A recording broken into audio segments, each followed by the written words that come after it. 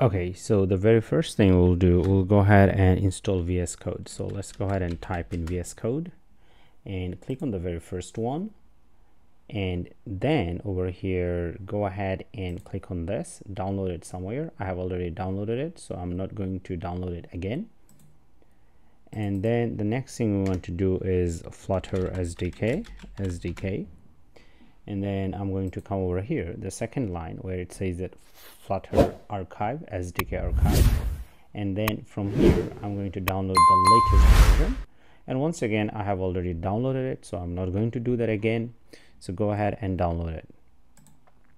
And after that over here we are going to download Android Studio. Let's go ahead and do that.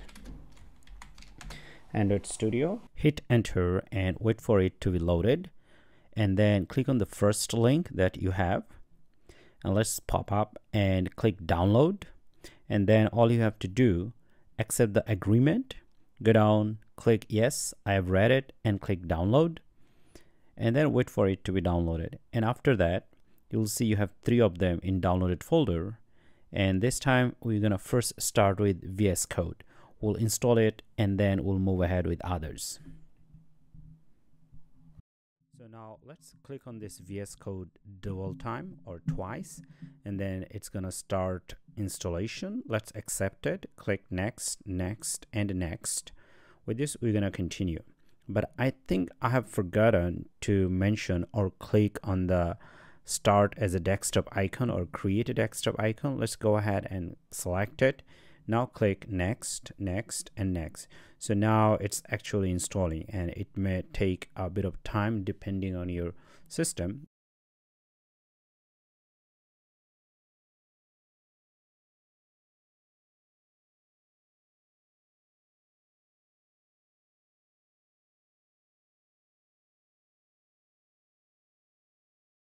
And we are done. So now it's gonna pop up with the VS Code UI so let's wait for it. So here we go. This is our VS Code. While in next section, we're going to install Flutter SDK. Okay, so now we'll go ahead and install our Flutter SDK. So to do that, over here, I'm going to copy this one first, and I'm going to come over here. And inside this, I'm going to create a new folder, and I'm going to call it Flutter and in this folder I'm going to I'm going to paste what I copied. All right and then over here we are going to go ahead and uh, extract it. And as we give it a name we remove this one first the last name the one that's given and make sure that you in install it inside C drive. And then not in the programs folder the folder that we created flutter folder that one click extract. Now it'll start extracting. Depending on your computer it may take a lot of time. Now since i'm in a virtual machine once again it's a little bit slow. But anyway so it's compiling and sorry it's uh, extracting very fast. So let's wait for it. It might take another few seconds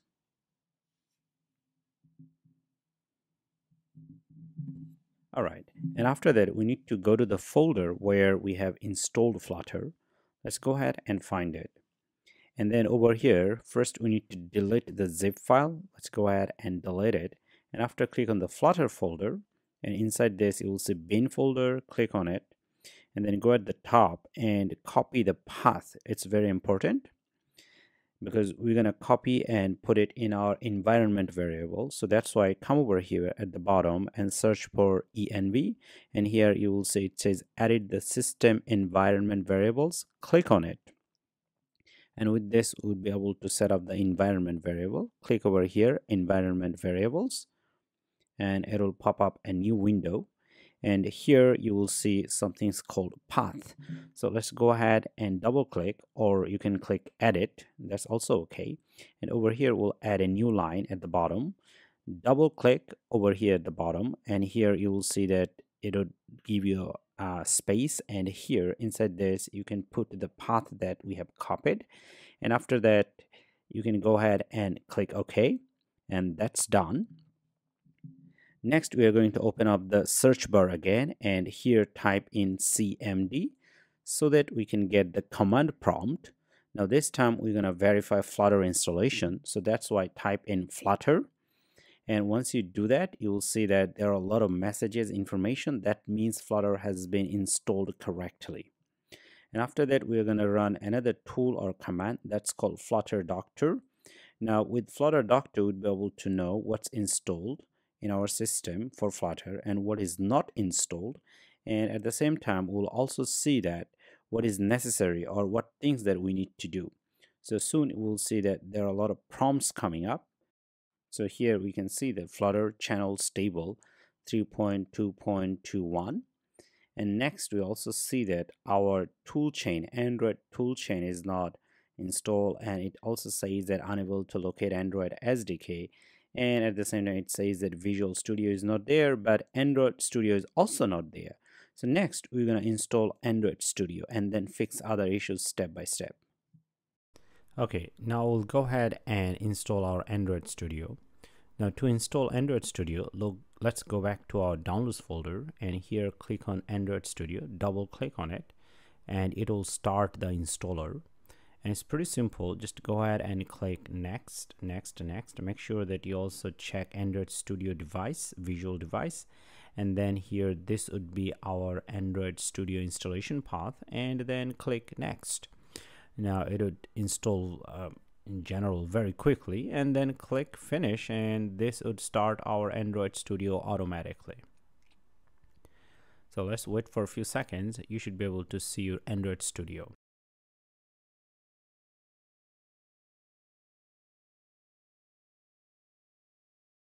and at the same time it may give you some hints or a new notice like whether you want to send the crash info or not. I said no and then it would continue to work on its own.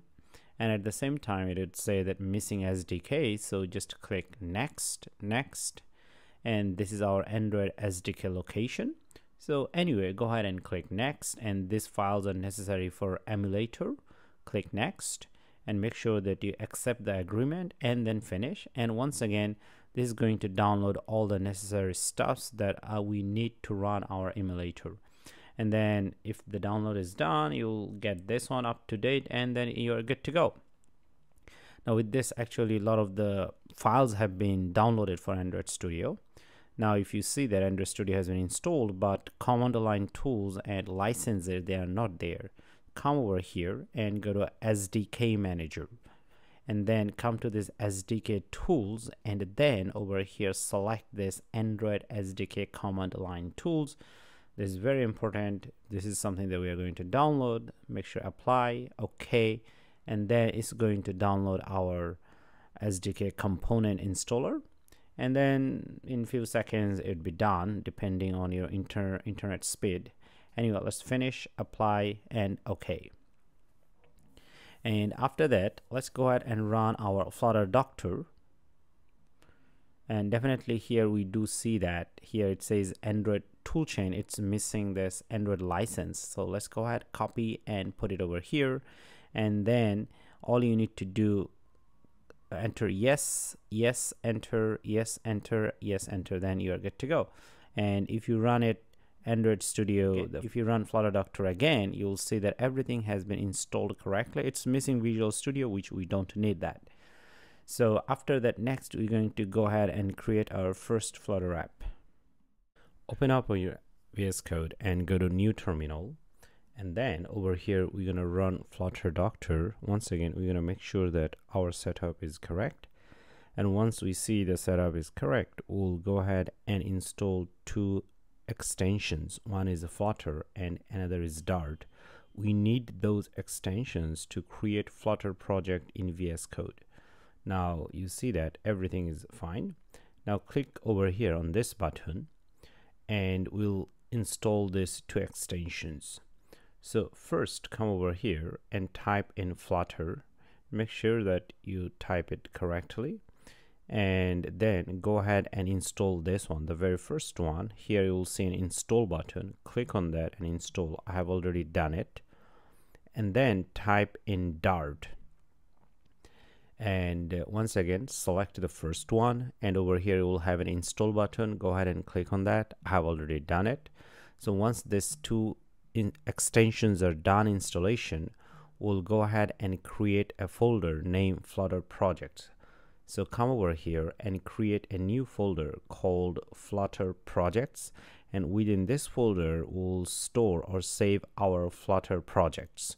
Now this will hold many apps in future. Anyway so once this is done our job is to go ahead and open it. To open it come over here view command palette and type in flutter. Now once you type in flutter choose the first one and then over here once again choose the first one application. And then it would give you a pop-up window. And from the pop-up window select flutter projects the one that we created and click this button over here. And now give it a name. Give it a name ticket app. And this is our actual project name ticket app. Now over here it'll go ahead and create this flutter project for us and as you can see that it's running over here and then on the left side we see that project has been created and this is our main.dart and main.dart is the most important for running flutter project. But now our project will not run yet because we need to go ahead and create an emulator or virtual device. To do that you need to open your android studio. From android studio we'll go ahead and create emulator or virtual device to create an emulator or virtual device first make sure that your android studio is open and then open your project which is ticket app. Let's go ahead and open it from our flutter projects folder. Ticket app this one drag and drop on android studio. Drag and drop it on android studio and once you have done it will open. And make sure that on the left top side you select project project and you will see your ticket app. And within it you will see the lib folder and select main.dart and from here we'll create a virtual device. To create a virtual device click on device manager. And here at the top you will see that create virtual device the plus icon and select over here any of them you want. In my case i'm going to select pixel 8 pro and this would be our virtual device. Click next and over here if you see any message like that you can ignore this and then click this download button. You make sure you you are downloading it. And now the downloading may take a bit of time and you have to wait. Once the downloading is done we'll be able to start our emulator. So wait until the downloading is done now it's done and once again over here make sure you select the downloaded one this one and click next. And you may change the name if you want but anyway so let's go ahead and finish. And here you'll see your virtual device or emulator. I have created a few. In your case you'll see only one. Whatever you have created go ahead and click on this button and then it'll start your emulator. And once the emulator is started you may go ahead your vs code and over here run start without debugging. It will start and make sure at the bottom you select over here that button. And based on that you'll see that your emulator is starting and your flutter project is starting and after that over here you see that our emulator is here and click on the button and it's going to continue to increase the number as you see. So that's how you run your first app